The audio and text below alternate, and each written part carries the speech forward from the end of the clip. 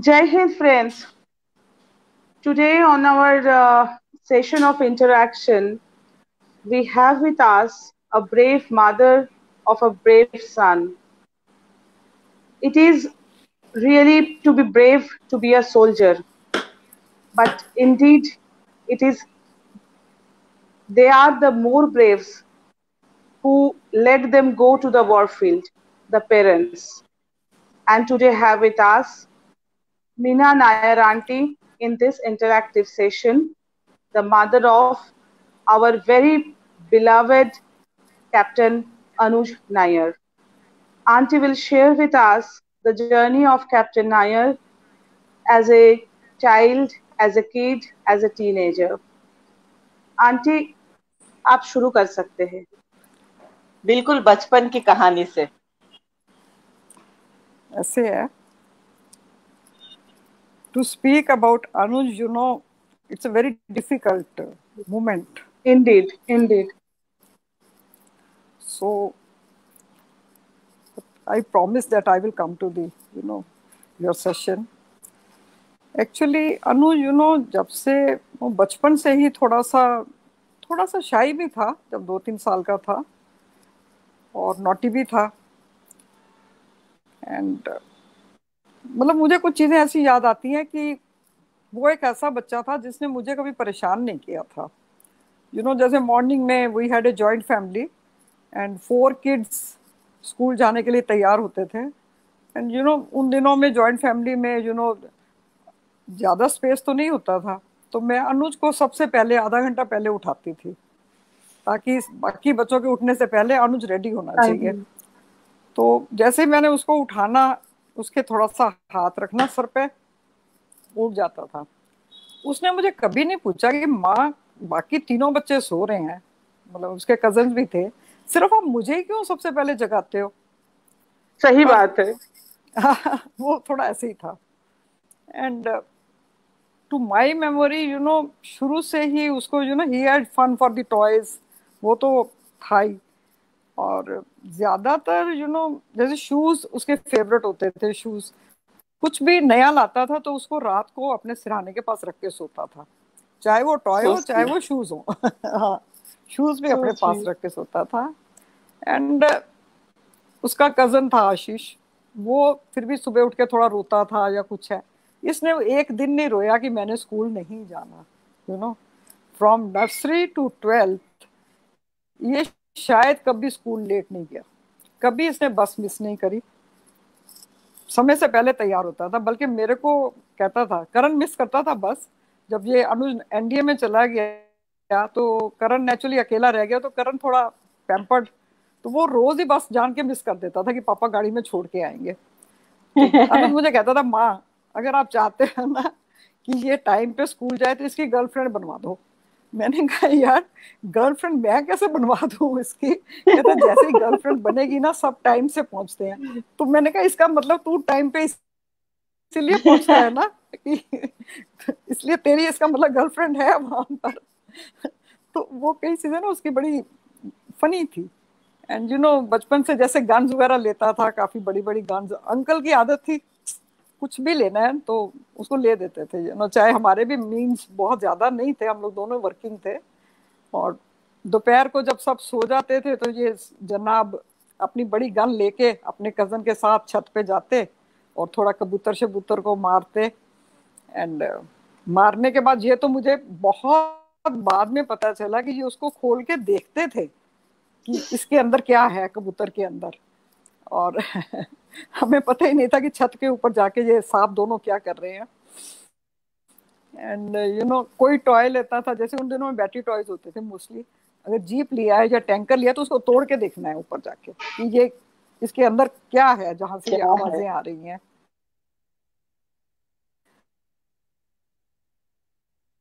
तो you no inquisitive nature थी उसकी।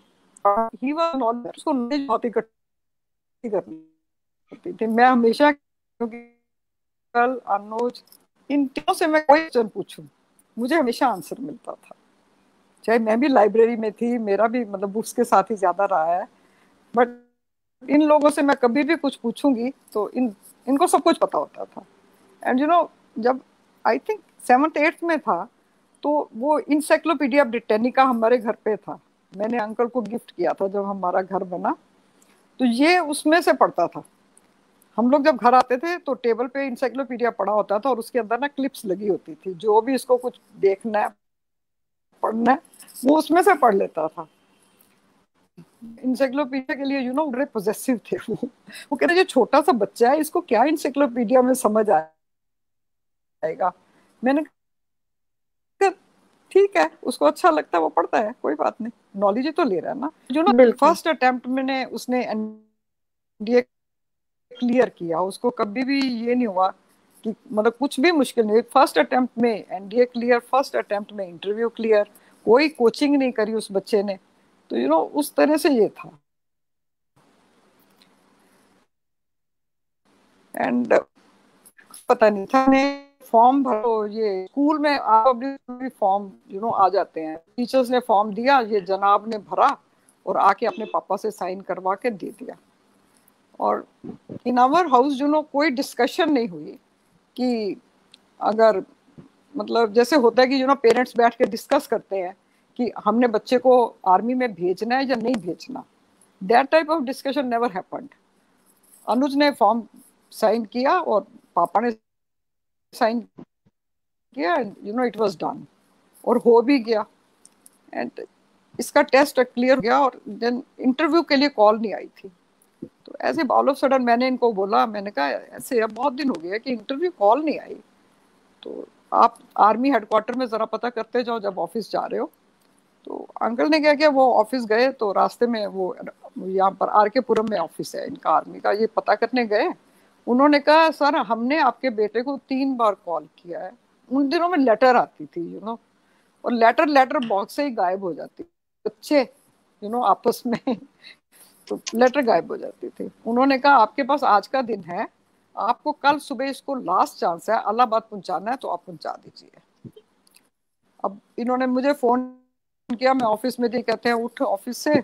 इंटरव्यू की उस पर्टिकुलर कुछ चीज़ें चाहिए यूनिफॉर्म्स हम्म। वगैरह चीज़ें खरीदनी। हम सीधा कनॉट प्लेस गए। इसको सब कुछ खरीद के। एंड रात की ट्रेन पे दोनों बाप बेटा चले गए। बुकिंग भी नहीं थी। पता नहीं सेकंड क्लास में गए या कैसे भी गए। एंड जैसे ही ये अलाहाबाद पहुँचा तो वहाँ पर आर्मी क्या हुआ था लेने? तो इसने पापा को हक किया और उसके साथ चला गया, उनके साथ चला गया। पीछे मुड़ नहीं देखता और अंकल कहते हैं मैं रेलवे स्टेशन के स्टेयर्स पे बैठ मुझे लगा कहीं मैंने कुछ गलत तो नहीं किया। कहते, मैं आधा घंटा स्टेशन पर बैठा रहा। उसके बाद फिर उन्होंने नेक्स्ट ट्रेन ली और वापस आए दिल्ली। एंड हम लोग घर में नहीं रुके उस दिन। ये अलाहाबाद चला गया। हम लोग अंकल के आते सीधा हरिद्वार चले गए कि घर में नहीं मतलब अकेले नहीं रुक सकते। आई डोंट नो कि डेस्टिनी क्या थी।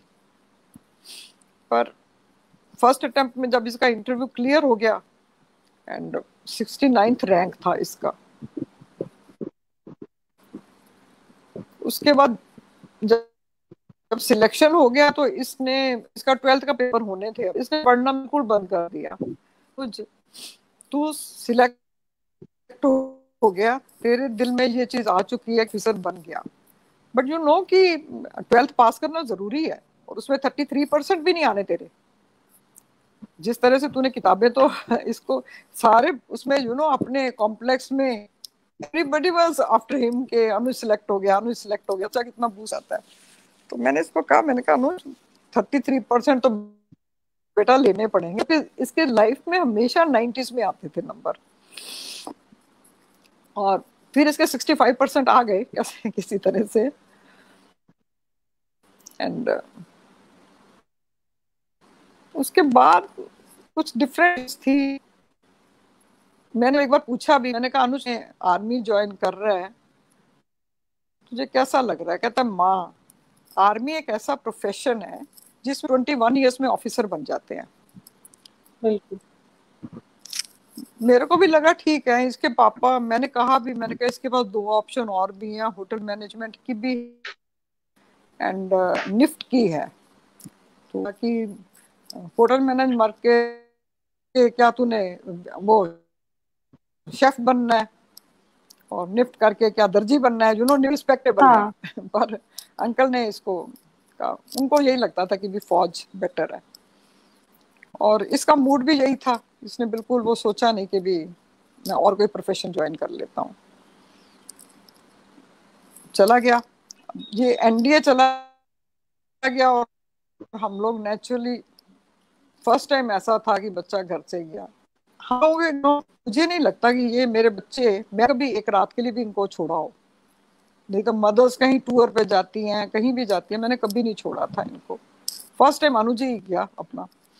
खैर धीरे धीरे हम लोग यूज़ हो गए but you know first term के बाद ये जब घर आया तो आई वॉज़ सरप्राइज़ इतना वो ट्रिम कर देते हैं वो यू you नो know, बहुत ज़्यादा।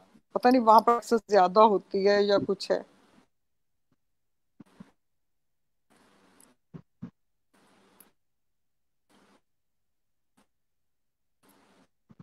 मेंटली पता नहीं, मेरे मन में हमेशा एक टेंशन स्पॉन्टेनियस होता है। इसका।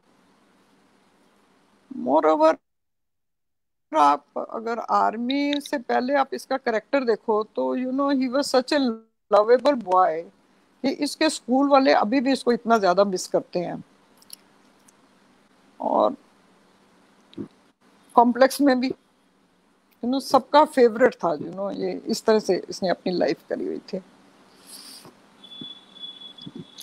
He was a you know good son good brother good friend सब चीज़ें जैसे एक पैकेज होता है जिसके अंदर सारी चीज़ें थी। And good of course good soldier जो असली इसकी पहचान है, वो तो था ही इसका। इसके बाद यू नो इसका समहाउ जब ये एनडीए में चला गया तो हम लोग हमेशा एक ही टेंशन में रहते थे कि इसने खाना खाया नहीं खाया, वहाँ पर क्या मिल रहा है।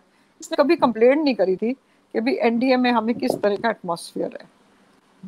कभी भी फ़ोन करो, जैसे मैंने एक बार इसकी लेटर नहीं आई कुछ दिन के लिए तो मैंने ऐसे फ़ोन कर दिया इसकी ब्रिगेड में। मुझे पता नहीं था कि फ़ोन नहीं कर चाहिए। मैं जैसे किया तो इसके ब्रिगेडियर साहब ने उठाया तो मैं उन्होंने कहा कि भाई यहाँ तो हम नहीं मतलब कॉल दे सकते। वो तो कैडेट है और उसकी अपनी ट्रेनिंग पे है। मैंने कहा सर ऐसे है कि कुछ दिन से अनुज की कॉल नहीं आई तो आई वॉज़ बरिड मैंने तो कह दिया मुझे क्या पता कि इसकी परेड हो जाएगी? उन्होंने अनु बुला लिया कि तुमने कितने दिन से अपनी मदर को लेटर नहीं लिखी तो मेरे लिए ये पनिशमेंट है कि एक महीने तक तुम रोज एक चिट्ठी अपनी मदर को लिखोगे। अरे वाह। ये क्या करता था रोज ही एक चिट्ठी लिख के इसको उसमें ब्रिगेड ऑफ़िस में दिखानी होती थी। And I am hundred one percent sure ये सेम चिट्ठी रोज दिखा के आता होगा। इसने कोशिश नहीं करी। वो सेम चिट्ठी ये रोज जाके उनको दिखा देता था कि मैंने अपनी मदर को चिट्ठी लिख दी है। तो मेरे को इसने बाद में कहा कहता है परेड करा दी। मैंने कहा तो तू सा असर हुआ भाई। तूने फिर भी वही चिट्ठी उनको दिखाता गया और वो अब आर्मी ऑफिसर्स इतने बड़े बड़े ब्रिगेडियर को ये थोड़ी फुर्सत है कि तेरी चिट्ठी पढ़ेंगे exactly. बदली है या नहीं है या वही चिट्ठी तो रोज दिखाता चला जा रहा है। तो और याद भी नहीं रहेगा पढ़े तो एंड हाँ। कब पढ़ेंगे ना नेचुरली तो अंकल को इसको मिलने के लिए दिल करता था तो वो क्या कहते मुझे कहते थे, मेरा तो बॉम्बे का ट्रिप है, मैं सुबह जाना है, शाम को आ जाना, मेरी मीटिंग है वहाँ पर। तो बॉम्बे जाते थे, वहाँ से सीधा पुणे। बॉम्बे से पुणे जाके मुश्किल से फिफ्टीन मिनट्स की परमिशन होती थी मिलने के लिए। वापस आ जाते थे। एंड जब भी वापस आता था हॉलीडे में तो एक हफ़्ते के अंदर अंदर इसकी शक्ल बदल जाती थी यू नो बहुत खुश भी होता था, कुदरती बात है, पर उसने कभी नहीं की थी कि मैंने उसको पता नहीं, स्कूल में भी कभी नहीं सोचा कि ये घर में आके कंप्लेंट करेगा या कुछ है, नहीं। जो करना है, अपना करता चला जाएगा। ही वॉज़ वेरी फोकस्ड उसका लाइफ कुछ पर्पज ऐसे होते थे कि समझ नहीं आती थी कि ये क्या कर रहे हैं। एक बार जब ये I think fifth six class में था तो थोड़ा सा चुप था। मैंने कहा, अनुज, क्या हुआ? तूने खाना भी नहीं खाया और थोड़ा क्वाइट है। तो पहले तो बताया नहीं, फिर कहता, माँ, ऐसे है कि हमारे घर के सामने एक स्टेशनरी शॉप थी। उसके ऊपर लिखा हुआ था, यहाँ पर पार्कर के पेन ठीक किए जाते हैं। तो जैसे बच्चे होते हैं, इसने अपने फ्रेंड को बोला कि मेरे यहाँ पर एक शॉप है, वहाँ पर पार्कर के पेन ठीक होते हैं। उस फ्रेंड ने क्या किया? अपने किसी रिलेटिव का पेन लाके उसको दे दिया। कह दिया अनुज तू ठीक करवा दे। तीसरी क्लास का बच्चा उसका पेन ठीक करवाने गया। पेन पेन दुकानदार ने घुमा दिया। अब वो बच्चा इसको परेशान करे कि भी पार्कर का पेन गुम हो गया मेरी मदर तो रोज डांटती है तो तू अब पैसे दे। मैंने इसको पूछा सीरियसली तो इसने मुझे मदर दो पे मांग रही है तो मैं क्या करूँ? मैंने कहा मेरी एक बार उसकी मदर से बात करा दे मैं दो सौ रुपये दे दूँगी कोई बात नहीं चाहे मेरी तनख्वाह उन दिनों में पाँच सौ रुपये होगी या छह सौ रुपये होगी दे दूँगी कोई बात नहीं। मैंने खैर बात करी उसकी मदर ने कहा नहीं नहीं आप प्लीज़ दे दीजिए मदर का पेन था इसने लूज कर दिया। मैंने कहा मैम अब बच्चा है उसने ठीक करना दिया दुकानदार ने घुमा दिया कोई बात नहीं हम आपको पैसे दे देते हैं। हमने पैसे दे दिए। नेक्स्ट डे जब मैं स्कूल गई है जस्ट यू नो मेरा भी धोला कुआ में ऑफ़िस था तो ये जनाब उसी लड़के के साथ घूम रहे थे। मैंने कहा अनुज कल मैंने इसकी मर को पे दिया है तू आज उसके साथ खेल रहा है। तो कहता माँ अगर उसकी माँ खराब है बच्चा थोड़ी खराब है। सो so स्वीट मेरा फ्रेंड तो ठीक है ना उसकी मदर ने पैसे मांगे अभी अब तक उसकी दोस्ती उसके हाँ उसकी दोस्ती उसके साथ बिल्कुल वैसे की वैसे ही रही ना यू you नो know? तो इस तरह से दिल साफ़ होता है ना इसीलिए इतना सिंपल सोचते हैं। हाँ हाँ, हाँ। इतना दिल साफ़ होता है कि इसीलिए इतना सिंपल सोचते हैं बिल्कुल कोई कॉम्प्लिकेशंस नहीं कुछ भी। हम्म। और इसलिए इतना खुश भी रहते हैं। नहीं पता क्या एक्चुअली ना बेसिक वो सिंपल था। उसको कुछ भी ये चलाकी कनिंग कंप्लेंट्स और इधर की उधर करना वो नहीं आता था। क्योंकि एक्चुअल फैमिली में जब बच्चे रहते हैं, अगर पेरेंट्स अपने बच्चों को कुछ नहीं पूछते तो बच्चे बहुत अच्छे डेवलप हो जाते हैं।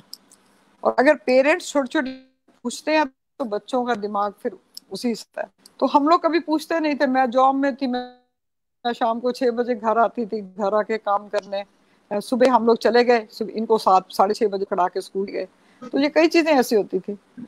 और फिर पहले हम बारह साल तक वहीं थे और उसके बाद हमारा अपना घर आ गया तो इसको और फ्रीडम मिल गई। Naturally we had independent house अपना, इनको बच्चों को अपना कमरा मिल गया तो दे वर वेरी हैप्पी हम लोग ढाई बजे इनकी बस आती थी घर पे और उन दिनों में लैंडलाइन नंबर होते थे ऑफ़िस में। मैं अपने ऑफ़िस के एक फ़ोन पे बैठती थी अंकल फ़ोन कि बच्चे घर पहुँच के दरवाज़ा खोल के हमारा फ़ोन उठाएँगे कि घर में पहुँच गए हैं तो उसके बाद हम रिलैक्स कर सकते हैं। सही में। और एक समय ऐसा आ गया था कि जब हम फ़ोन करते थे तो अनुज फ़ोन उठाता था।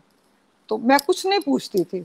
बिना पूछे वो कह देता था माँ हम पहुँच गए हैं हमने खाना है हमने दरवाज़ा कर दिया है मेड गई है सब हो गया। उसके बाद अगर कभी दस मिनट ये ना उठाएँ। जैसे दो बीस पे बस आती थी अगर ढाई बजे तक नहीं उठाया और स्कूटर पे अंकल नॉट थे या, या कुछ बस खराब तो नहीं होगी भी बच्चे दोनों उसमें हैं। तो इस तरह से था। प्ले था खेलना उसको बड़े बहुत ज़्यादा ही पसंद धीरे धीरे करते। क्रिकेट कम था ज़्यादा करता था। एंड कुछ चीज़ें उसकी ऐसी थी यू नो उसका कंपटीशन ना वो किसी से नहीं करता था।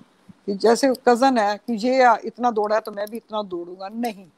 अगर आज उसने पाँच मिनट में, पाँच किलोमीटर भागा है तो कल उसकी कोशिश होगी कि पाँच मिनट में मैं छह किलोमीटर भागू। तो वो अपना कंपटीशन अपने अंदर करता था। अपने अंदर उसको मतलब एक शौक था कि पावर को इकट्ठा करना। ये बहुत बड़ी बात इसकी। अभी कल ही हम बात कर रहे थे इस इसके कज़न का फ़ोन आया कहता है चाची आपको याद है कि अनुज तीर जो लोहा थी। तो मतलब मोटा नहीं था शोल्डर उसके थे। सिक्स पैक्स वो दिखाता था कहता गिन लो कि मेरे सिक्स पैक्स है सिर्फ़ भाग भाग के। किसी जिम में नहीं वो बच्चा गया किसी कोचिंग सेंटर में नहीं गया। यू you नो know, उसका थोड़ा अपने आप में कंपटीशन था मतलब। अगर अपनी दादी के जहाँ उनको बोलता था कि मैं आप दूध का ग्लास तैयार करो, मैं तीन मिनट में पहुँच जाती छाप रहे तो ये भागते भागते तो थोड़ा अपने अंदर इसको ना कॉन्फिडेंस बहुत ज़्यादा था। एंड मोर ओवर लगता है कि कई बार ओवर कॉन्फिडेंस जो होता है, वो भी कई बार नुकसान भी करता है उस चीज़ में ना। एंड डिफीट लेने की आदत नहीं थी। डिफीट नहीं ले सकते। यही मैं अभी इसकी लेटर्स पढ़ी आपको पढ़ के बताऊँगी। क्योंकि उसको सिर्फ़ वहाँ पर एक ही वरी थी कि मेरे पेरेंट मेरे लिए बहुत वरी करते हैं। लेटर इसके जून को। उसमें इसने यू नो एक सेकेंड कई बार चिट्ठियाँ पढ़ के दिमाग खराब हो जाता है। एक्चुअली इसको हमने कहा था, इसकी शादी थी टेंथ टेंथ सितंबर की। तो इसको हमने प्रॉमिस किया था कि तेरे को हम मतलब गाड़ी लेके देंगे। जैन इसने बोल ली थी। तो उसके लिए हम लोग भी लोन वोन की तैयारी कर रहे थे। तो मैंने इसको एक लेटर लिखे भी हमने लिए डिसाइड कर दिया।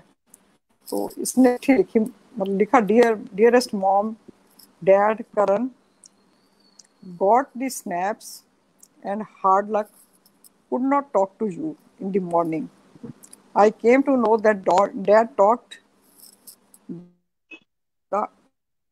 to the operator light dad i came to know that dad talked operator and could not hard luck yeah anyway i will try tonight hope to talk to you. Want to go to duty now. Then he wrote anyway i just want to tell you that i am fine and you all don't worry i am safe safe and sound i got came to by planning for a zen car good I haven't been I haven't been able to sleep that night. Dad, don't worry about पे क्योंकि dad ने uncle ने job छोड़ दी थी उन दिनों में dad don't worry about पे यार we are earning twelve thousand मेरी और अपनी तनख्वाह मिला ली होगी ना इकट्ठी for month so you you have to only smile don't worry at all then is money बोलता money is right I am not afraid of any so you too should not worry for me I have got you you had your hand on my head and your blessings You keep praying to God. He so don't I want you to all to be proud of me. I am a Nayyar. Nothing and nobody can scare me. I don't have fear in the dictionary which dad gave me.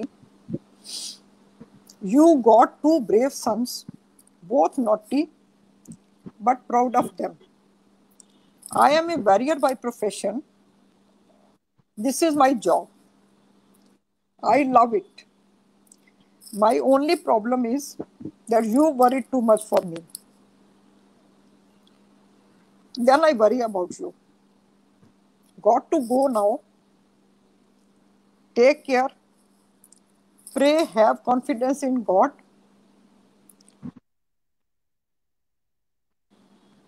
Proud of your sons. They are brave guys. Pair them with boys other around you. And always pray for me because God listens to you. इसका बहुत बड़ा confidence यही था कि मेरी माँ जो prayer करती है होगा शायद उसके दिमाग में एक चीज़ थी कि उसकी लाइफ लाइन बहुत लंबी है एंड वो तो आप लोगों ने पढ़ा ही होगा कि जिस तरह से उसने बंकर्स वगैरह लिए पर। यस बेसिकली मुझे कई बार ये लगता है अजीजा कि ये लोग ना देखो एक मिशन के लिए आते हैं। बिल्कुल। गॉड इनको एक मिशन के लिए भेजता है। ट्वेंटी थ्री ईयर्स एज क्या होती है? और सत्रह साल की एज में घर छोड़ दिया। पेरेंट्स के साथ जो मेन साथ था सत्रह साल का था, उसके बाद अपना जॉब करी।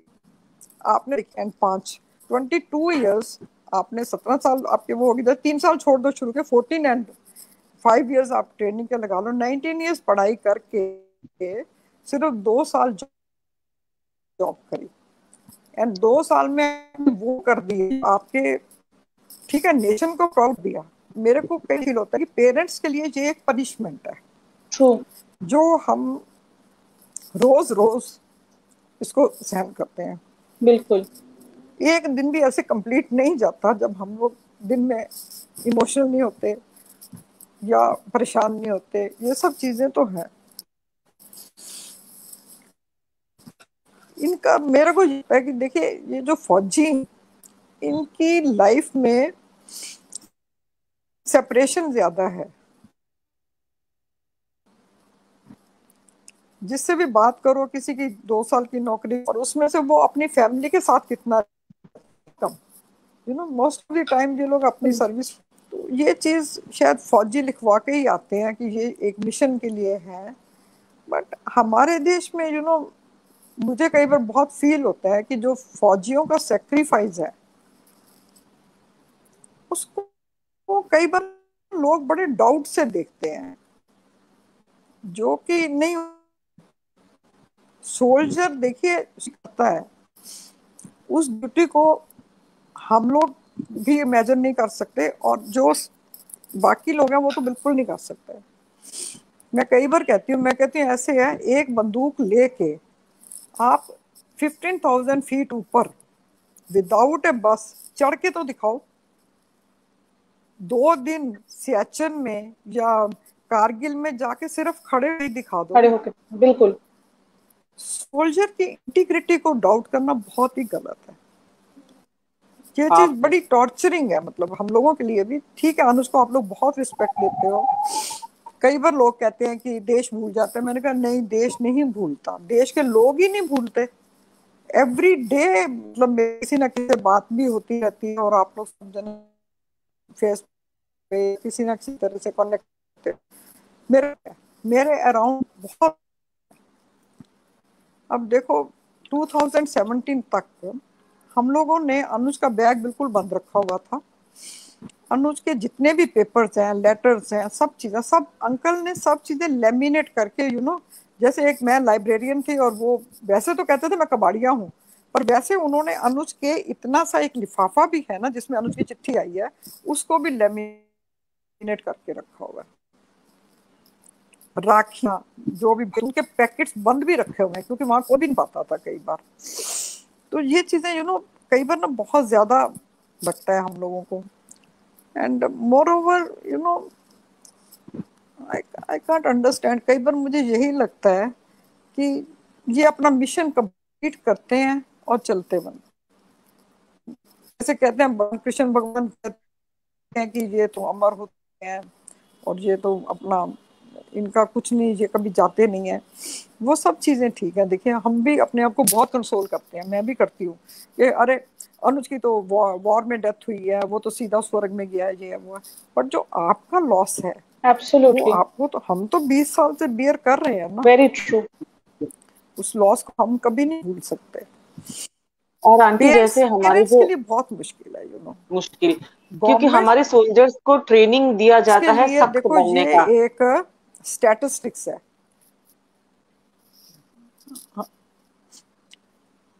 गवर्नमेंट के लिए देखो एक स्टैटिस्टिक्स है। आज आ गया चार जवान चले गए आज ब्रिगेडियर हाँ. चले गए आज सीओ चले गए है ना?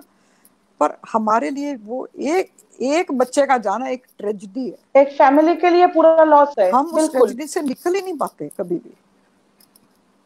बहुत बड़ा लॉस है मैडम वो बहुत बड़ा ज़िंदगी भर का ज़िंदगी बाकी फिर फिर जब हम लोग को ज़्यादा तकलीफ़ होती है हाँ ज़िंदगी भर का लॉस के लिए टॉर्चर हम लोग ज़्यादातर पता है क्या देखो बहुत ज़्यादा बहुत ज़्यादा। मैं हमेशा यही सोचती हूँ जब अनुज के लास्ट डेज़ थे अनुज उसमें लिख रहा है कि आप मेरे लिए ब्लेस करो आप मेरे लिए प्रे करो। पर वो साथ में यही लिख रहा है don't worry your son is fearless your son is very brave देखो गॉड तो है ना अगर लाइफ कम है तो आप कुछ नहीं कर सकते। बट यू नो कई चीज़ें ऐसी होती है कि पेरेंट्स का लॉस फैमिलीज़ का लॉस वाइफ का लॉस बच्चों का लॉस बहुत बड़ा लॉस है ये। उस समय फिर लोग कहते हैं तो हम यही कंपेयर करने आ रहे हैं। अगर लाइफ कम है तो एक्सीडेंट में भी तो हो सकता है, किसी बीमारी से भी होता है। चलो, कुछ करके तो गए दुनिया में, दुनिया उनको याद करती है। इस चीज़ को लेके हम लोग भी अपने आप को बहुत तसल्ली दे देते हैं। It's a very big the loss, for the parents तो is equal in equal in every situation. देख ही रहे हो जो चाइना का हुआ ट्वेंटी फैमिली हो तो तो वो इनका देखिए अब चाइना का ठीक कर लिया जी ये हमने ज़मीन छुड़ा ली वो कर लिया। जो ट्वेंटी फैमिलीज़ बर्बाद हो exactly what about the twenty families right उनकी कोई रिटर्न नहीं होनी उन बच्चों के लिए फादर की रिटर्न नहीं होनी है ना? बिल्कुल। वहीं पे ज़िंदगी रुक जाती है उनके। वो चीज़ है। बाकी देखो अपनी ड्यूटी के लिए आए थे ड्यूटी कर गए। हाँ हाँ। ड्यूटी करनी थी करके चले गए हैं ये लोग पर यू नो लॉ बहुत बड़ा है। प्राउड है। ठीक है आप सब सोचते हैं प्राउड है। प्राउड इज़ अलग है बट लॉस इज़ दर्द exactly much more much more बहुत पेनफुल लॉस है। हम लोग 18 इयर्स तक इसकी चीज़ों को ऐसे संजो रखा हुआ था। एंड ऑल ऑफ़ सडन जो राष्ट्रीय राइडर ग्रुप ये हिम्मत एंड ऑल यू नो ये लोग आए थे मेरे घर में second October two thousand seventeen में। और एक बार आए, फिर सेकंड टाइम आए, मुझे वो कुछ अनुज के लिए कुछ सिग्नेचर्स वगैरह की फ़ोटो बनवाई थी उन्होंने देने के लिए आए। फिर इन्होंने मुझे कहा कि, मैम, आप कुछ लेटर्स शेयर कर दो अनुज की। मैंने कर दी। तो लेटर्स को जब इन्होंने पढ़ा उनको यही लगी जो है उतना फेम नहीं मिला जितना मिलना चाहिए। And you know same night हिम्मत ने मेरे को फ़ोन करके कहा कि मैं हम अनुज पे किताब लिखें। मैंने कहा लिख लो। अंक ने दो तीन किताबें लिखी हैं पर अनुज के ऊपर नहीं लिखी थी। अपने बेटे पे लिखना इज़ नॉट दैट इजी उन्होंने फाइनेंस पे लिखी कॉन्ट्रैक्ट मैनेजमेंट पे लिखी इंटेलिजेंस पे लिखी और अनुज पे नहीं। अनुज को डेडिकेट किताब That's why that's what we were discussing with Thappad uncle. और वो किताब की जो जर्नी है वो इतनी स्ट्रॉन्ग जर्नी है क्योंकि हम लोग ये चाहते थे कि हमें ये पता लगे कि अनुज किस हालात में था वहाँ पर और मैंने इन लोगों को बोला मैंने कहा ऐसे ये लोग कहने लगे मानी हम ना कारगिल जाना चाहेंगे सब लोग मतलब करण भी यही था तो सोचा करण भी जाएगा मैंने इनको बहुत मना किया। मैंने कहा, ऐसे मैं तुम्हें घर में फौजी इंट्रोड्यूस करवा देती हूँ। एंड मैंने अनुज की रेजिमेंट में फ़ोन किया। मैंने कहा, देखिए, आपके कोई सोल्जर्स अगर दिल्ली में है तो मैं उनके साथ, उनको अपने घर में बुला के मैं अनुज की जो डेथ हुई है, उसके हालात हम लोग जानना चाहते हैं, क्योंकि हमने किताब लिखनी है। उन्होंने दे आर सो कोऑपरेटिव उन्होंने चार लोगों को उड़ी से छुट्टी दे दी कि आप दिल्ली जाओ और मैडम के क्वेश्चंस के आंसर करके आओ। जस्ट इमेजिन उन चार लोगों ने काफ़ी लोगों को और जितने भी लोग दिल्ली में थे वो सब अपना आगे और एक सेकंड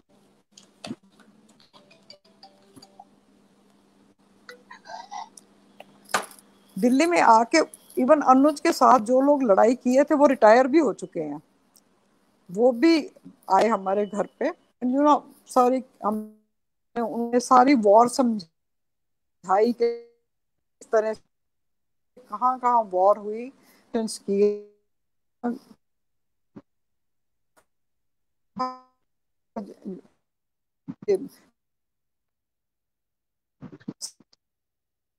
सारे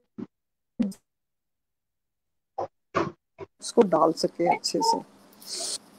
कोशिश यही की कि जो बेसिकली जो बुक है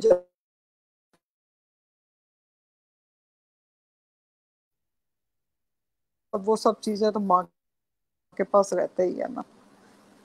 इस किताब हो गया छह महीने में शायद इस किताब के लिए आ जाएँगे। मुझे एक इंसिडेंट याद कि मानी हानू सर की कैब को देखना चाहते हैं। कैन यू बिलीव के हमने सत्रह अठारह साल से फिक्स करके रखा हुआ था। जिस लिफाफे में जो चीज़ डाली हमने कभी खोली नहीं। हमें हाथ कांपते थे उनकी चीज़ों को ना खोलने में। इतना ज़्यादा मेरे को टेंशन थी। खैर, इन्होंने कहा हमने देखना मैंने कहा, ठीक है बेटा। मैंने तो लिफाफा निकाल के दिया। कि क्या होता है? ये सब था। था। उसी दिन उसने वो कैप उठाई उठाई। आप अब छोड़ दो इसको हम इसको ठीक करवाएँगे। उन्होंने रेजिमेंट से आर्मी से पता नहीं कहाँ से कर करा के सब कुछ ठीक ठाक करके अनुष्का यहाँ आके ठीक से अपना इसमें कबर्ड में अपना रख दिया। तो, तो मेरे को यही आता है कि देखो उनको उनको क्या लेना देना है? सोचने की बात है। वो तो सिविलियन है पर उनको आर्मी से कितनी अटैचमेंट है? जैसे आप लोग हो आप लोगों को बेसिकली अटैचमेंट है आर्मी से ना? इसीलिए तो आप लोग इतना कर पा रहे हो। तो कई चीज़ें ये है कि दुनिया की बहुत ज़्यादा यू नो कंट्रीब्यूशन है। अगर एक आवाज़ दो तो दस लोग हेल्प करने को तैयार हो जाते हैं। ये बात नहीं है कि देश याद नहीं करता। लोग पता नहीं किस तरह से कहते हैं। पर मैं इस चीज़ को थोड़ा सा डिफर करती हूँ इस चीज़ में। और आप बताइए, जो भी मुझे जितना ध्यान में आ रहा है, मैं बोल रही हूँ। आंटी, आपको शायद याद होगी नहीं, क्योंकि इतने लोग रोज मिलते हैं। आ, 2014 में मैं आई थी आपके घर मैं ये निकाल दूँ ये ये एक हाँ हाँ हाँ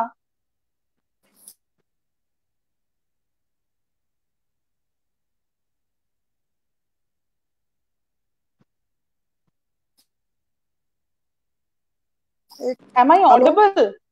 Hello? Mm, yes, yes. Ha, ha, yes, yes.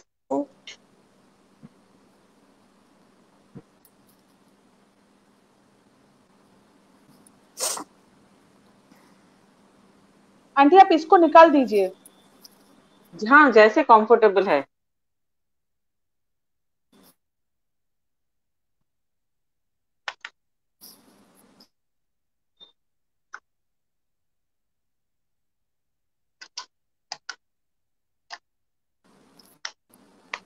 actually i am getting a very poor transmission i don't know it is from my end or uh, from auntie's end or from your end i'm also hello hmm. okay i uh, we can hear you huh hmm.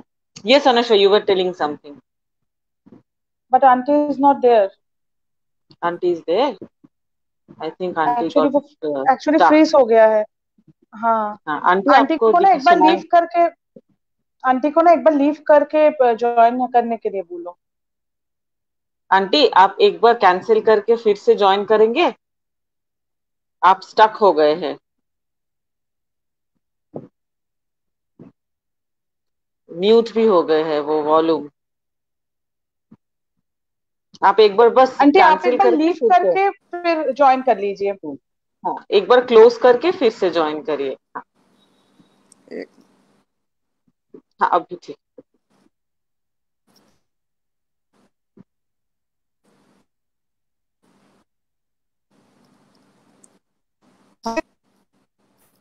Hello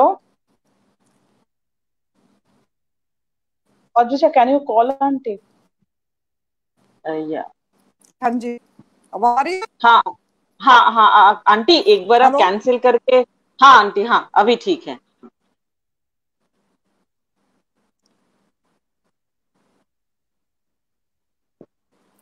आवाज़ आपकी टूट रही है। हाँ actually aunty एक बार cancel एक बार cancel करके फिर से आप ऑन करेंगे आंटी? एक बार आप क्लोज कर दीजिए फिर से क्लिक करिए। नीचे वो लीव बटन है ना उसको क्लिक कीजिए तो लीव होके फिर से आप एक बार ज्वाइन कीजिए।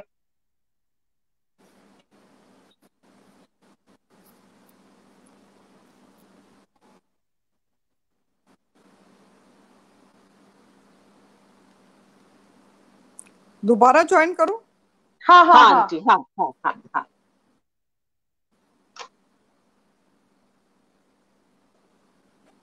this thing we were discussing when uh, we talked to Thapar uncle that uh, it is very tough for a parent okay, to write this book, right?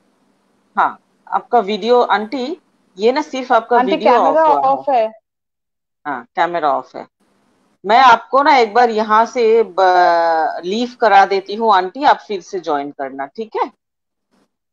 Let me just try हाँ। ठीक है। ना? Let me try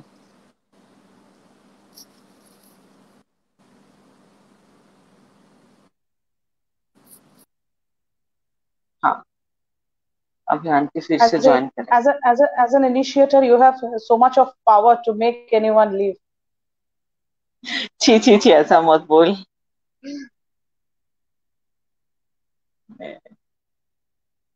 this thing we were discussing yesterday right yeah, on that day when Thapad uncle came uh, came in our program that uh, it is really a tough uh, for any parents to write uh, this book what he have written Yes. Auntie was telling the same that uncle wrote books, but uh, he could not write a book on uh, Captain Nair. And uh, before I called uncle, we have heard so much that uncle is very strict, uncle is not very approachable person and all. But when we when I met him, he was he he was such a lo- lovable and a fatherly uh, person. I can't I can't describe in words he was, exactly. he was a very and sweet person, very sweet person. Very much. Very much. And uh, after you met uncle, फिर मैं uh, uh, I took your reference and called uncle and like I told uncle like I always wanted to say a sorry to you on behalf of the entire country for all the trouble that you had to take. take so she, exactly. he was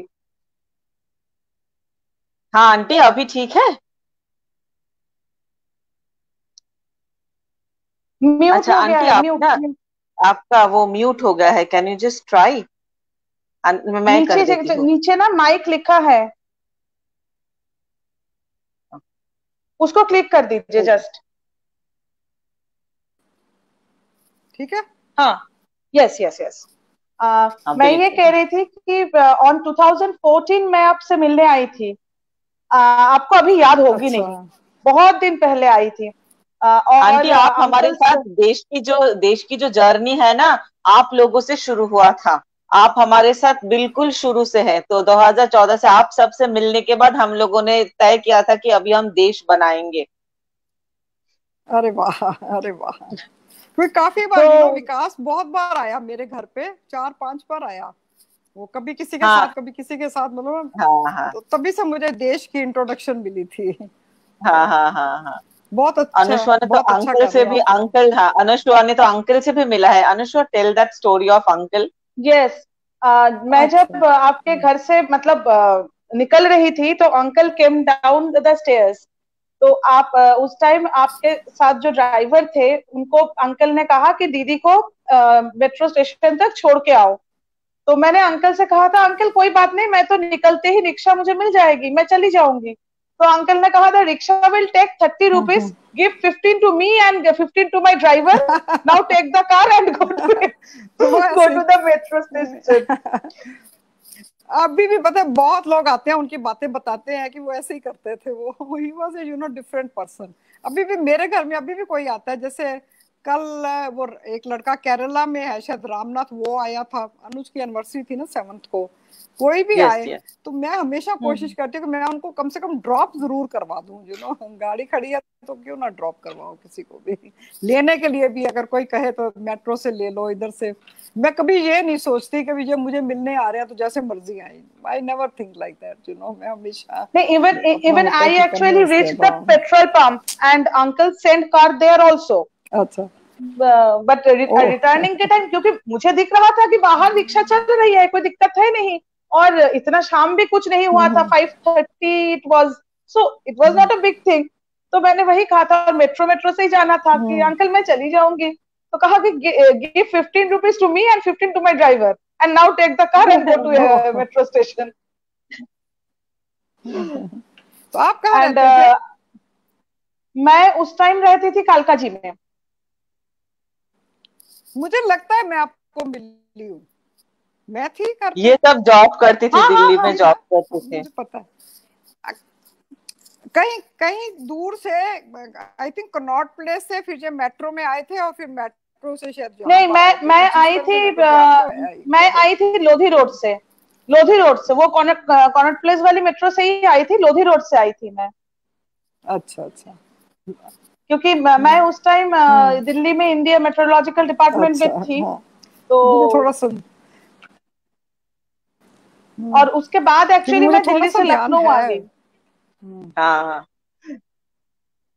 No, auntie, this is absolutely normal because you meet so many people every day and interacted with so interact with so many people with every day that it is very, I mean, tough to remember each and every one. और मैं एक ही बार गई थी आपके पास हाँ फिर वो Lucknow shift हो गई थी एक्चुअली आंटी मतलब हम ये अच्छा। ना जैसे बिन बताए पहुँच जाते थे हम लोग। तो हम लोग थोड़ा पता नहीं था कि कै, तभी तो शुरू शुरू में हम लोगों ने मिलना शुरू किया था ना तो हम लोगों को पता नहीं होता था कि फैमिलीज़ का कैसा रिएक्शन होगा हाउ दे विल रिएक्ट तो मिलके इतना प्यार मिलता था ना आप लोगों से तो तभी हम लोगों को लगा था कि ये हम लोगों को सीरियसली करना चाहिए और आप लोगों से मिलके हमारी जो एक्सपीरियंस होता है, वो सबके साथ शेयर करना चाहिए। तो तब आप लोगों से मिलके हम लोगों ने सोचा था कि अभी एक देश शुरू करते हैं।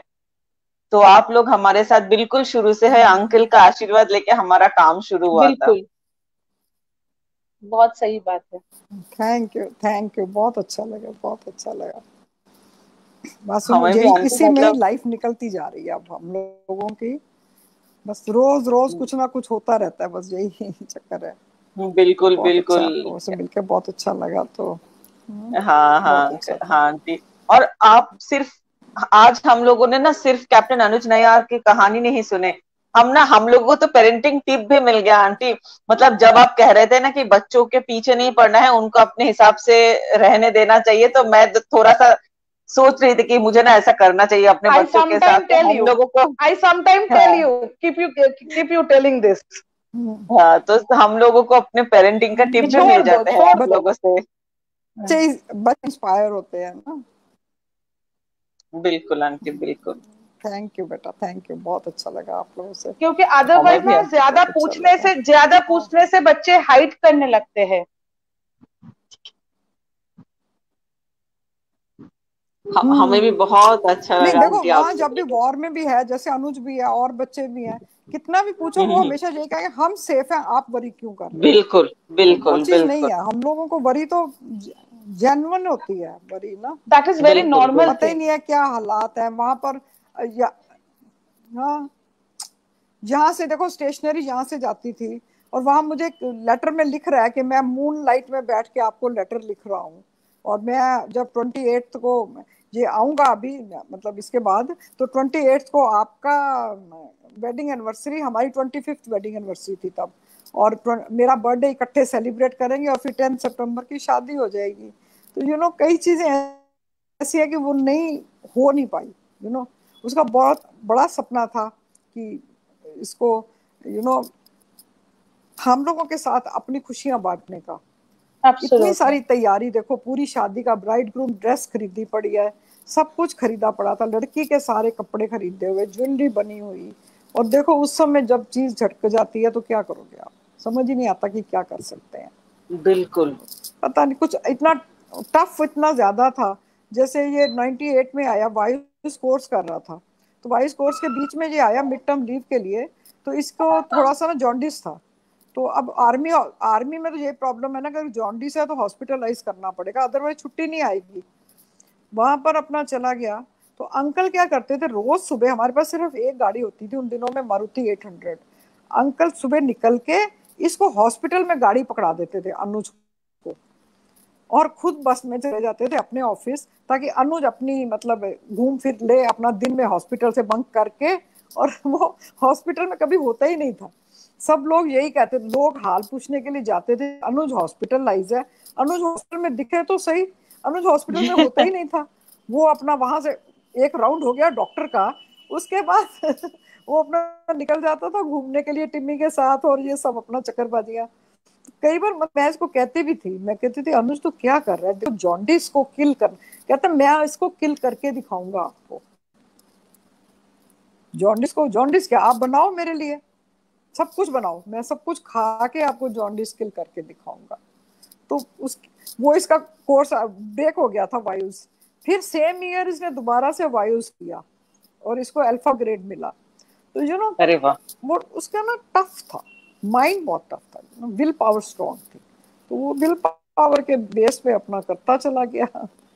नहीं तो देखो जैसे तीन बंकर ले लिए थे चौथे बंकर में वो रेस्ट कर सकता था। उन उसको सोल्जर्स ने कहा कहते मेरी सारी प्लेटून खत्म हो गई है। तीन चार लोग रह गए थे। कहते मेरे को सॉर्ट आउट करने दो। अगर ये उस समय नहीं उठता, पाँच बीस पे इसकी डेथ हुई है, नहीं उठता डे लाइट आ चुकी थी तो बाद में वो बंकर तो आ ही जाने थे, पर ये बच जाता। पर नहीं बचा ना।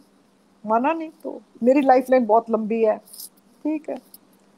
वो कई बार बच्चे मतलब वो टॉलरेट नहीं कर सकता था कि उसके यू नो सोल्जर्स इतने सारे वो उसके सोल्जर्स जो भी आते हैं, वो सब कहते थे। कहते हैं, उसको बेबी ऑफ़ द रेजिमेंट कहते थे। तो कहते हैं अनुज जैसा साहब अभी तक भी कभी नहीं आया। जो इतना हम लोगों को, अपनी सैलरी उसको पता ही नहीं होती थी। यहाँ से जितने भी पैसे लेके गया, वो हमने इसको ज़्यादा दे दिए थे। हमने सोचा कश्मीर में दोबारा पैसे भेजने मुश्किल होते हैं।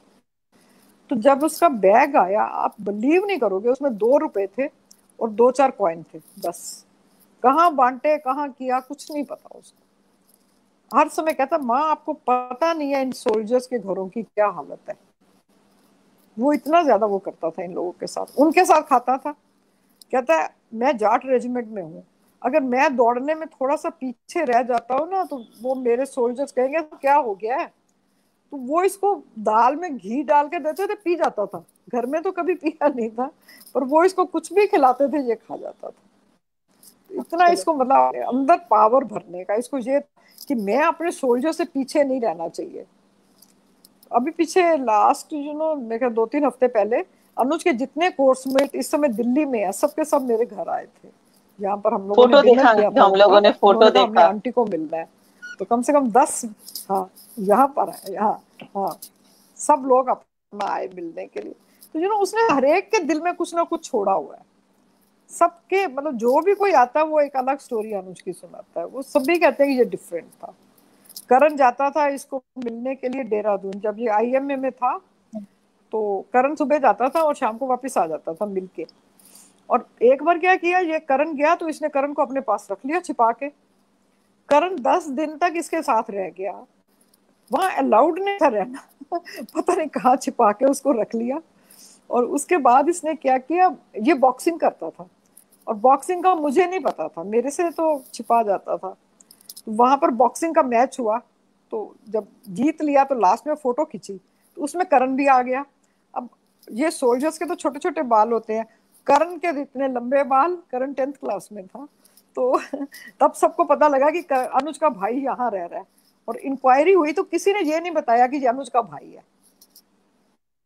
फ़ोटो खिंच गई बस ठीक है कहते मुझे नहीं पता क्या हुआ। तो वो थोड़ा ना इस तरह से था। करण को बहुत ज़्यादा पेम्पर करके रखता था बहुत ज़्यादा बहुत ज़्यादा। कभी लड़े नहीं ना दोनों भाई? यही लिख रहा है कि आपके दोनों बेटे बहुत बुरे हो। नहीं बचपन में लड़ते थे अच्छे से लड़ते थे ऐसी बात नहीं है। कई बार हम घर पे भी आना पड़ता था छुड़वाने के लिए। मेरी मदर इन कहती ये किसी से कुछ कर देंगे? क्योंकि करण छोटा था तो बड़े से मुकाबला करता था। अनुज बड़ा था। तो वो चीज़ तो थी पाँच साल का डिफरेंस था इनका। पर जैसे थोड़े से बड़े हुए फिर फिर दोस्त बन गए। अभी तो मतलब हाँ नहीं अब तो करण के बच्चे भी अनुज को अनुज भाई बोलते हैं। उनको तो कुछ पता नहीं सबको अनुज भाई पता है बस। मैं क्या करण तेरा तो ये इसके बच्चों को सब भाई बोलते हैं अब अनुज को ना। बाद में तो फिर नेचुरली बच्चों की बहुत अच्छी हो जाती है। क्योंकि वो कई बार करण को कहता था। करण, तू कभी करण कुछ बोल दे जरा सा भी तो कहता था, तुझे पता नहीं है। मैं माँ के बिना रहता हूँ। मुझे पता है कि कितना मुश्किल होता है। तो करण को बहुत समझाता था वो। और करण छोटा था नेचुरली पैम्पर्ड था, वो चीज़ तो होती है ना कि बड़ा भाई है तो ठीक है। पूरा प्रोटेक्ट करता था उसको स्कूल में। करण को स्कूल में कोई नहीं छेड़ सकता था। सबको पता था, ये अनुज का भाई है। तो ये चीज़ें उसकी काफ़ी थी। अच्छी बड़ी अच्छी बॉन्डिंग थी इन दोनों भाइयों की। यू नो उसका भी बचपन खत्म हो गया। एब्सोल्युटली जब अनुज की डेथ हुई तो करण तब कितना था? तेरह साल का था सिर्फ़। जब अनुज घर से गया तेरह साल का करण था सत्रह साल का अनुज था चार साढ़े चार साल का डिफरेंस था। तो अलग तो हो ही गए। और फिर तब फ़र्स्ट ईयर में था तो अनुज की डेथ ही हो गई। तो यू नो वो करण हमें संभालने में लग गया पेरेंट्स को यू नो जिस दिन अनुज की डेथ हुई, मुझे अभी तक याद है कि नेक्स्ट डे करण मुझे लेके कमरे में गया, बैठ गया। तो मुझे कहने लगा कहता माँ, देख, इस घर को सिर्फ़ तू संभाल सकती है। अगर तू ऐसे पड़ी रहेगी तो ये घर नहीं संभलने वाला आप अनुज भाई चले गए हैं, आपको उठना है। और सेम चीज़ देखो, जब अंकल की डेथ हुई तो मेरे को करण ने फिर कहा, माँ, देखो, अब आपको अनुज के लिए करना है। तब पापा करते थे, आप अपने काम में लगते थे। अब अगर आप अनुज के लिए नहीं करोगे ना तो अनुज भाई को भी लोग भूल जाएँगे। Very से देखो 2014 से मैंने ज़्यादा करना शुरू किया फिर। जो भी कोई मुझे बुलाता मैं आप किसी को मना नहीं करती। पहले मैं जाती थी मेरे को लगता था मैं मैं अभी भी इमोशनल हो जाती हूँ मेरे को अपने आप कोई अच्छा नहीं लगता। पर उसने कहा नहीं आपको अनुज के लिए उठना पड़ेगा। अब उठ गए तो फिर अब तो क्या रोज ही रोज अनुज का ही होता है मैं मेरा purpose we are really we are really thankful to karan bhaiya he said it very rightly auntie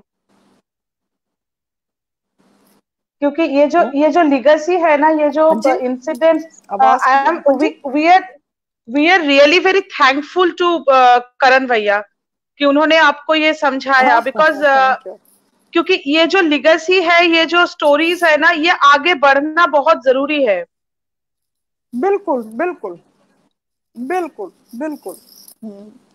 क्योंकि अंकल चले जाते थे कभी किसी ने बुलाया या कुछ है तो हम्म। मैं फिर थोड़ा सा वो जाती थी क्योंकि मेरे को लगता था कि हम जहाँ जाते हैं हम इमोशनल हो जाते हैं। तो मतलब मैं थोड़ी सी ऐसी थी। पर फिर अब मैं भी अब हो गई अब जैसे सबको मिलती भी हूँ और करण करण भैया का तो मतलब करण भैया का तो सबसे बड़ा लॉस है कि लोग लोग फिर भी माता पिता का दुख को दर्द को समझते हैं बहुत लोग ना भाई बहन का जो लॉस है दर्द हाँ। है नहीं समझते हैं आंटी पर वो है कि करण भाई ने भैया ने जब से जन्म लिया है तब से वो अनुज हम्म। अनुज सर के साथ उनका वो रिश्ता है लगाव बॉन्डिंग है, है बिल्कुल बॉन्डिंग है तो जैसे कैप्टन हाँ। सौरभ का जैसे ब्रदर ने सौरभ का लिया के ब्रदर ने उनके मदर को कहा था कि देख तुझे तो बेटा बोलने के लिए मैं हूँ पर मेरा भाई बोलने के लिए अभी तो कोई नहीं है। तू फिर भी मुझे बेटा बोल सकता है पर मैं किसे भाई बोलू? तो जो वो भाई का एक लॉस है ना वो लोग आज मतलब हम्म। सोच नहीं सकता। बहुत लॉस है।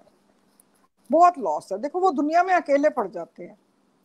दो भाइयाँ एक चला गया तो एक अकेला पड़ जाता है। इस चीज़ का बहुत लॉस है बहुत लॉस है। पर क्या कर सकते हैं? Even auntie i uh, met uh, mukesh khetarpal who is brother of second lieutenant arun khetarpal.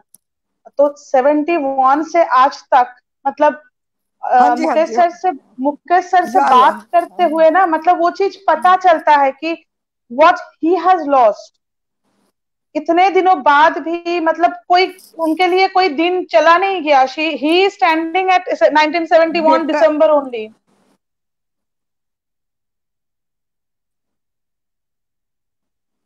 I know कितने भी बात ऐसे जैसे दिन बढ़ते हैं और बढ़ती हैं। बार न्यूज़पेपर में एक आई थी रिमेम्बरेंस आई थी।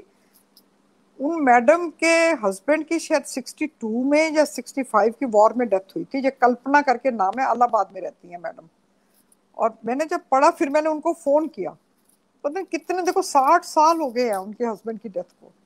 अभी भी वो है मतलब। उनके वहाँ का अलाहाबाद का एक कोई डॉक्टर है, अविनाश करके, वो आए थे हमारे घर पे। तो उन्होंने मुझे बताया। तो बाई चांस मैंने न्यूज़पेपर में रिमेम्बरेंस देखी तो मैंने उनको कॉल किया था। अभी भी इस बार भी मैंने पूछा उससे, अविनाश से कि भी कैसी है मैडम? कहते, ठीक है, गैस एजेंसी चलाती है। तो यू नो पूरी ज़िंदगी ऐसे निकल जाती है। पूरी ज़िंदगी। जितनी भी देखो अगर कोई थोड़ा सा लाइफ में आगे बढ़ भी जाता है तो भी जो पिछली याद है वो तो नहीं जाती ना। वो तो वहीं के वहीं रहती है। तो इस चीज़ में सबको बहुत मुश्किल हो जाती है बहुत मुश्किल है। लाइफ को तो चलाना पड़ता है but a part of it I mean goes with that memory only ये मेमोरीज ही तो तंग करती हैं ना। मेमोरीज बहुत परेशान करती हैं। और आंटी एक्चुअली मतलब मैं मैं और मेरे जो बड़े भाई हैं हम दोनों के डिफरेंस ये पाँच साढ़े पाँच साल की है। तो मम्मी कहती अच्छा। थी कि मैं एक बार बचपन में बहुत मतलब कोई होमवर्क नहीं करना है कुछ नहीं करना है। मैं एकदम मतलब मम्मी की सबसे जो शैतान चाइल्ड होता है मैं वही थी। तो मैं बहुत परेशान कर रही हम्म। थी तो मम्मी ने पूछा था कि पढ़ाई नहीं करोगे कुछ नौकरी नहीं करोगे तो ज़िंदगी में चलोगे कैसे? तो मैंने बहुत कॉन्फिडेंटली मतलब even I was not in class one at that time मैंने बहुत कॉन्फिडेंटली माँ से ये कहा था हम्म। आप चिंता मत करो आपका बड़ा बेटा है ना वो मुझे देखेगा मुझे पता है कॉन्फिडेंस रहता है ना भाइयों में आपस में एब्सोल्युटली अगर मतलब एल्डर ब्रदर या एल्डर सिस्टर है तो यंगर जो होता है उनका वही होता है कि मेरे सर सर, सर पे तो हम्म। मतलब भाई तो है चीज़ अच्छा होता ही है कॉन्फिडेंस रहता है ना। कॉन्फिडेंस रहता है यू नो बहुत अच्छा है। कई कई अनुज के अच्छा अनुज के तो भाई मेरे को कोई पूछता है ना कि अनुज के लिए मेरी सिस्टर अभी पूछ रही थी थोड़ी देर पहले कि तूने तैयारी कर ली तेरा वीडियो मैंने कहा उसके लिए ज़रूरत ही नहीं है मेरे अंदर भंडार है उसका।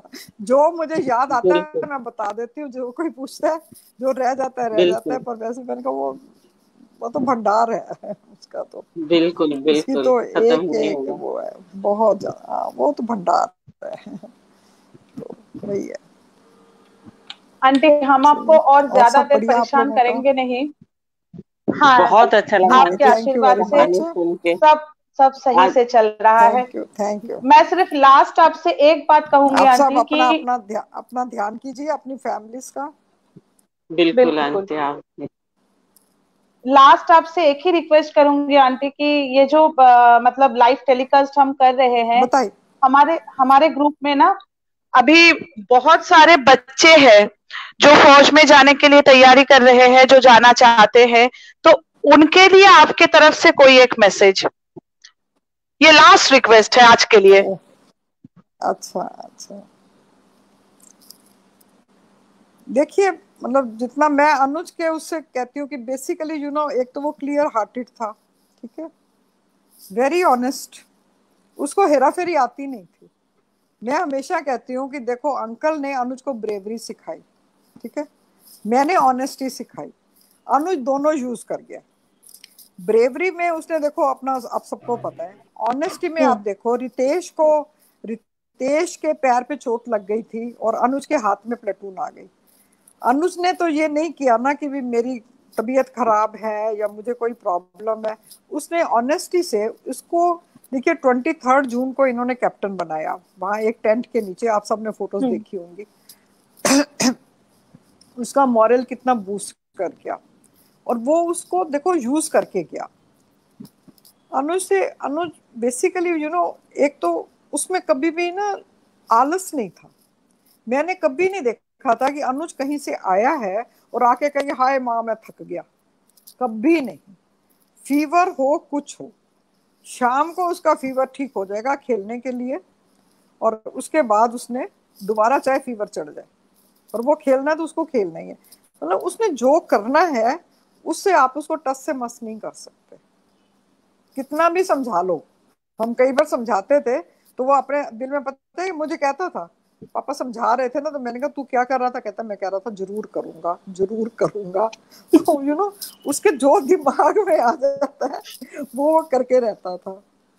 वो, अगर देखो, उसका ट्यूशन है, वो शाम को अगर छह बजे ट्यूशन है तो वो पौने छह बजे बिल्कुल रेडी होएगा। अच्छे से अपना कपड़े शपड़े ठीक से, टेबल ठीक से, टेबल के ऊपर बुक्स ठीक से लगी होगी। टीचर ने आना है, टीचर के साथ बैठ के पढ़ाई करनी है। चाहे गप्पे ही मार लेगा, बट वो सारा कुछ ठीक करके रखेगा। अगर पापा ने जैसे कह दिया कि भी, अनुज, तुमने ये काम ऐसे कर दे, वैसे कर दे, उसको देखो, अनुज में एक इंस्पिरेशन मैं पेरेंट्स के लिए कहूँगी। देखो, और कुछ नहीं।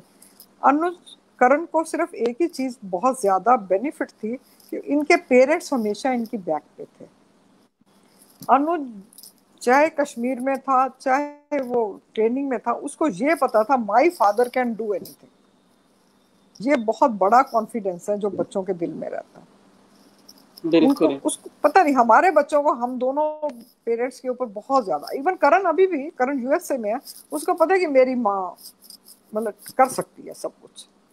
चाहे उसको भी पता है कि नेचुरली मैं अकेले रहती हूँ, मैं पेट्रोल पंप संभालती हूँ, मैं फिर भी अनुज के लिए भी जितना कर सकती हूँ, करती हूँ।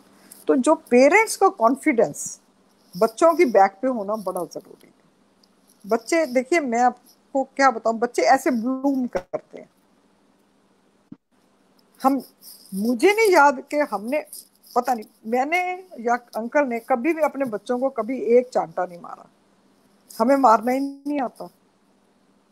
ज़िंदगी में कभी थप्पड़ मारना नहीं आया हम लोगों को। तो भी बच्चे इतने अच्छे निकल गए। पढ़ाई की प्रॉब्लम नहीं आई। मस्तियों की ज़रूर आई, ये बात नहीं कि मैं ऑफ़िस में होती थी, यहाँ पर घर के अंदर ये खूब अच्छे से लाउड म्यूज़िक लगाते थे बच्चे आपस में, अपने फ्रेंड्स को बुलाते थे, वो सब चीज़ें करते थे। हम वीसीआर छिपा के अगर रखेंगे कि एग्ज़ाम में तुमने नहीं देखना तो वो डाइनिंग टेबल हटा के वीसीआर निकाल के देखेंगे। मगर वो इतने चलाक नहीं थे कि वापस उसको ठीक से रख दे। माँ को पता चल जाएगा कि टेबल हिली है तो इसका मतलब इन्होंने वीसीआर निकाल के देखा है, पढ़ाई नहीं करी। तो मतलब बच्चों को ना बहुत ज़्यादा कॉन्फिडेंस देना पड़ता है। ये चीज़ है।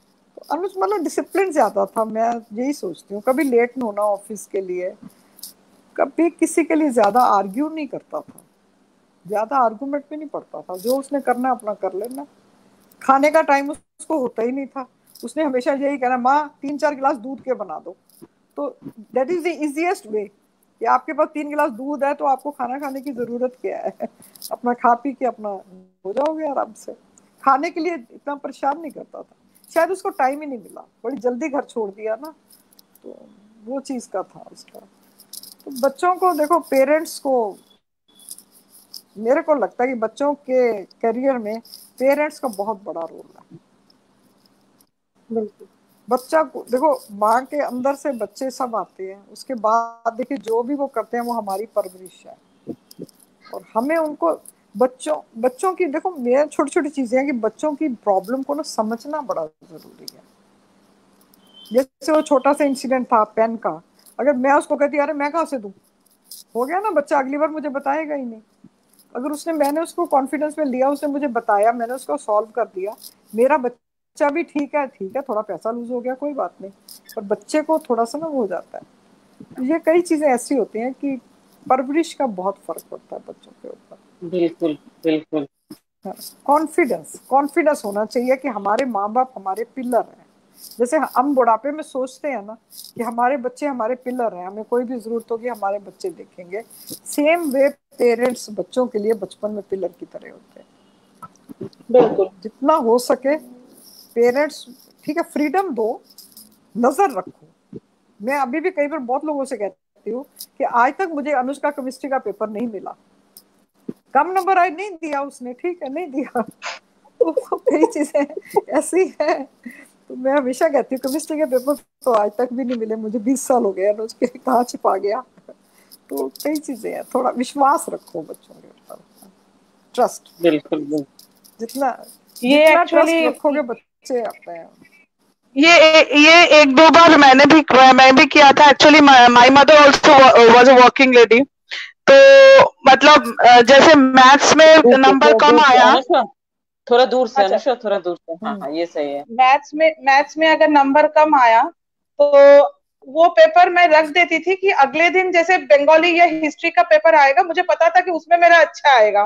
तो then only I will show it to my mother और uh, मतलब माँ माँ माँ herself was a teacher और uh, मेरे ही कॉलोनी में मेरी एक uh, मतलब क्लासमेट रहती थी। तो एक साल हुआ था कि accidentally we were in the same section तो माँ कहीं जा रहे थे तो मम्मी से ना वो मिल गई थी शाम को।